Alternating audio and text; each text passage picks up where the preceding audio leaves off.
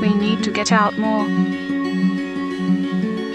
We need to stop sometimes and look at the sky.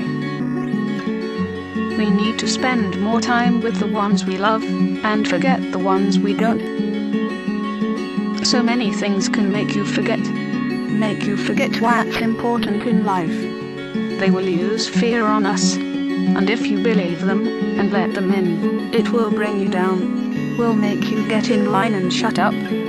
Well, we don't want to get in line, we want to show them all the sky and let them figure it out for themselves. We are talking to you. Yes, you. Sat in your car. Sat at home, walking along the street.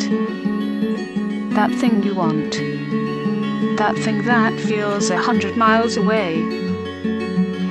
It's yours. It always has. All you have to do is go and get it with starry eyes and butterflies.